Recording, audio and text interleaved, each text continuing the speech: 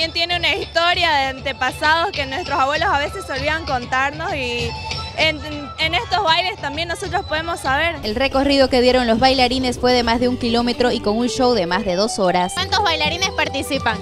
Más o menos son unos 1500 no pueden ser más porque si no nos quedaríamos hasta medianoche. El ritmo de las danzas organizado por el profesor Héctor Molina se viene preparando hace más de dos meses y en esta ocasión se presentaron ritmos de taquirari, carnavalito, chovena y entre otros. La diversidad, variedad y riqueza cultural de todo el oriente boliviano. Que el resto del país nos integre culturalmente. De todo el oriente boliviano, porque con este festival aprendemos también, ¿no? Nosotros aprendemos a conocer las etnias, sobre todo, que es lo que menos se, se conoce. ¿Qué que se rescata con estas danzas que ahora vemos en el ELAI, pues? Poder saber este, sobre la cultura de nosotros y saber de nuestros antepasados también.